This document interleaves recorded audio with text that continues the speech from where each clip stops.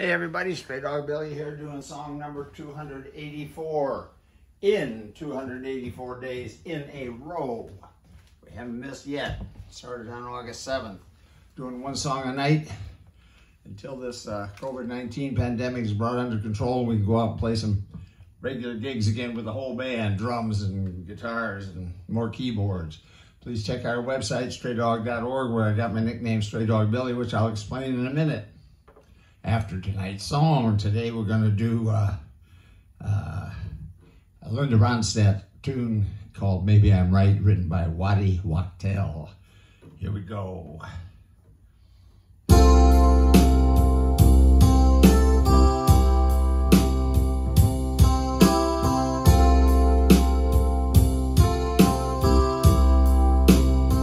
Maybe I'm right, maybe she's wrong.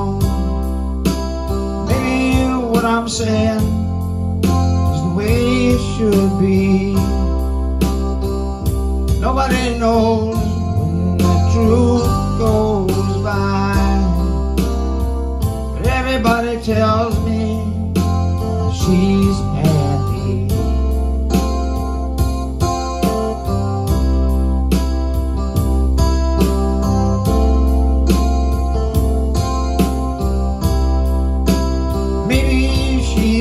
she's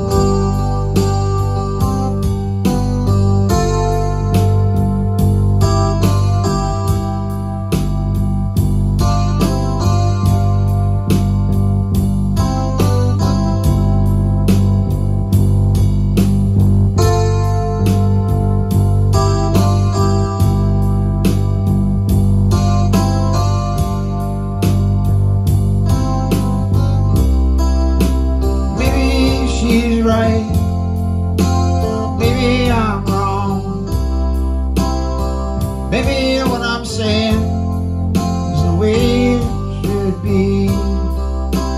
Somebody tried to explain to me.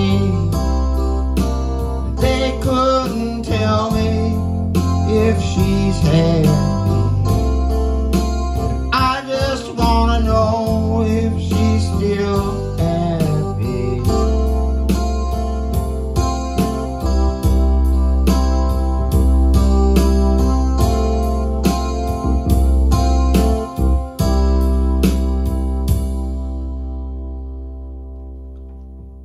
Linda Ronstadt tune, uh, written by Waddy Wachtell.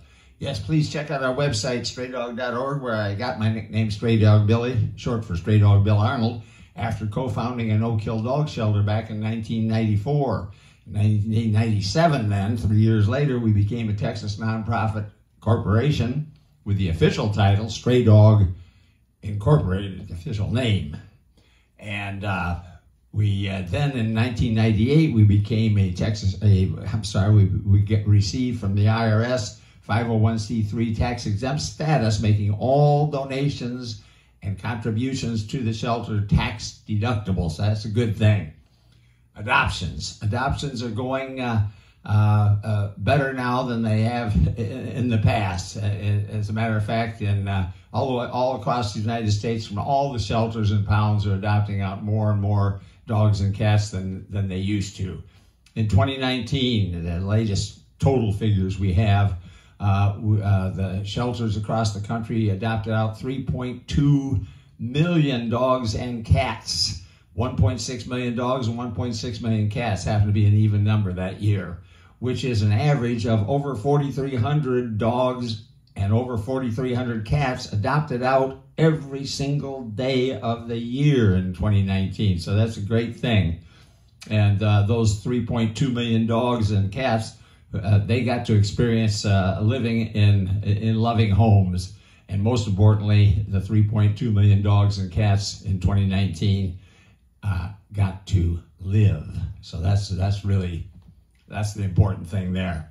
And unfortunately, however, unfortunately, we are still having to euthanize as a society as our, our last resort method of controlling population of dogs and cats. Tragically, we are having to euthanize 1,700 dogs and cats still every day, nowadays, now. Every day, we're having to euthanize that many because we can't find adoptive homes for them. No matter how hard we try, that's 1,700 that didn't make it every single day. Uh, this statistic is from uh, Best Friends Animal Society uh, out in Utah at bestfriends.org. And you can see a lot of other good statistics on there and and uh, what they're working on to try to make this a no-kill nation, which is really important. We got to get there. Uh, and a daily average of 1,700 dogs and cats being euthanized because we can't find homes for them. That's more than 620,000 per year. A tragic number, but far fewer than the 2.6 million we were euthanizing in 2011, just 10 years ago.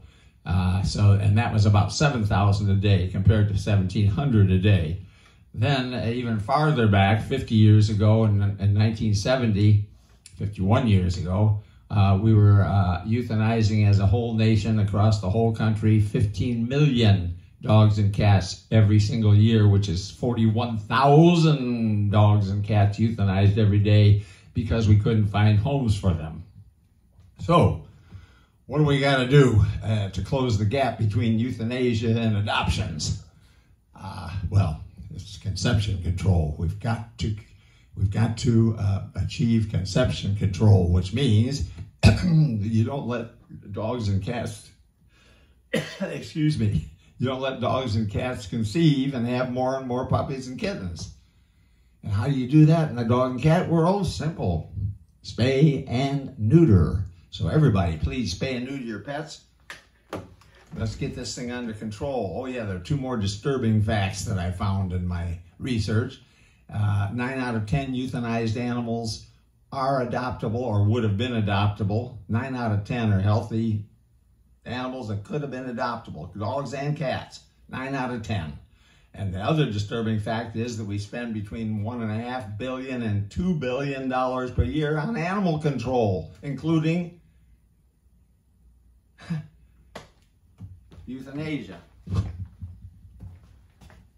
Uh, anyway, let's get control of this thing through spay and neuter, everybody. And adoptions. We'll be right back. Or no, we won't. We'll be back tomorrow with another, another song from the Stray Dog Billy One Man Band. Good night, everybody.